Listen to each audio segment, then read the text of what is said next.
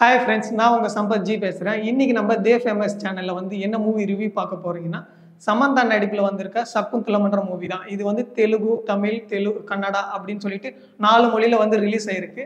So இந்த கதை இந்த படத்தோட கதை என்னன்னு கேட்டிங்கன்னா சிம்பிள் தான். இந்த மகாபாரதம் ராமாயணம் அப்படின்ற மாதிரியான கான்செப்ட் தான். அதை வந்து பாகுபலி மாதிரி பிரம்மாண்டமாக காமிக்கணும்னு சொல்லிட்டு நிறைய செலவு பண்ணியிருப்பாங்க போல்.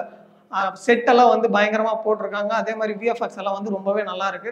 அதில் சின்ன சின்ன விஷயத்தையும் பார்த்து பார்த்து பண்ணியிருக்காங்க ஆனால் சில விஷயம் வந்து என்னடா இது இப்படி பண்ணி வச்சிருக்கீங்க? நல்லாவே இல்லை அப்படின்ற மாதிரி இருக்கும். அது என்ன விஷயம்னு பார்த்தீங்கன்னா இந்த கிராஃபிக்ஸ் தான். மானை போயிட்டு சமந்தாவோட சேரையெல்லாம் பிடிக்கிற மாதிரி இருக்கும். அதெல்லாம் வந்து நம்பவே முடியாது. ஆனால் வந்து அவங்க கற்பனை வந்து நல்லா தான் இருக்குது ஆனால் சின்ன சின்ன விஷயத்த வந்து அவங்க மாற்றிருந்தா நல்லா இருந்திருக்கும். இந்த படத்தில் வேற யாரெல்லாம் நடிச்சிருக்காங்கன்னு பார்த்தீங்கன்னா பிரகாஷ் ராஜும் ஒரு சின்ன ரோல் பண்ணியிருக்காரு. ரோலும் எடுத்துகிட்டு இருந்தால் அவர் நெகட்டிவ் கேரக்டர் நல்லா நினைக்காதீங்க.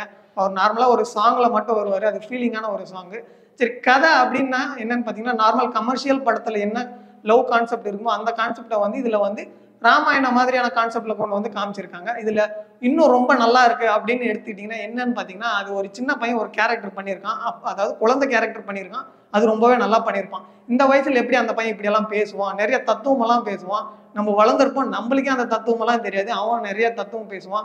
ராஜாவா இருந்துட்டு நீ வந்து இப்படி பண்ற அப்படி பண்ற. நீ மன்னிக்க கூடாதா? அப்படின்ற மாதிரிலாம் கேட்டிருப்பான் அந்த பையன். அந்த பையன் வந்து டைலாக வந்து கரெக்டா பேசியிருக்கான் ஒரு இடத்துல கூட தவறு விடாம இருந்திருக்கான். இந்த படத்தோட பெரிய ப்ளஸ்னாவே அந்த பையனாக தான் இருக்க முடியும். மற்றவங்களதெல்லாம் வந்து சின்ன சின்ன ரோல் இருக்கும். கொஞ்சம் நம்மளுக்கு படம் கதை வந்து லேக் அடிச்சிருக்கும். அதாவது ஸ்லோவாக போகிற மாதிரி இருந்திருக்கும்.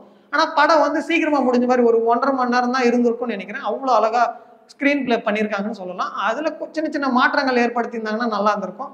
அதே சமயம் நிறைய நம்ம பார்க்கணும்னு நினைக்கிற விஷயத்தெல்லாம் வந்து படத்துலேயே காமிச்சிருப்பாங்க. அதாவது நம்ம பனிப்பிரதேசம் இமாலயா இதெல்லாம் நம்ம பார்க்கணும்னு நினைப்போம். அதெல்லாம் வந்து படத்தில் காமிச்சிருப்பாங்க. என்ன அது கொஞ்சம் என்னடா இது இப்படி காமிக்கிறீங்க? அதாவது கார்ட்டூன் படம் பார்க்குற மாதிரி இருந்திருக்கும். மற்றபடி படம் வந்து ஓரளவுக்கு நல்லா இருக்குன்னே சொல்லலாம். யாருக்கெல்லாம் இந்த சீரியல் பிடிக்குமோ அதுக்கப்புறம் மகாபாரதம் ராமாயணம் பிடிக்குமோ அதுக்கப்புறம் சிலர் வந்து ஹிஸ்ட்ரி அதாவது ஹிஸ்ட்ரி சம்மந்தப்பட்ட புக்ஸ் எல்லாம் படிப்பீங்களோ அவங்களுக்கெல்லாம் கண்டிப்பாக இந்த படம் பிடிக்கும். கமர்ஷியலாக அதாவது ஃபைட்டு வேணும் அது வேணும் இது வேணும் அப்படின்னு யாரெல்லாம் பார்க்குறீங்களோ அவங்களுக்கு இந்த படம் பிடிக்கிறதுக்கு கொஞ்சம் டவுட்டு தான்.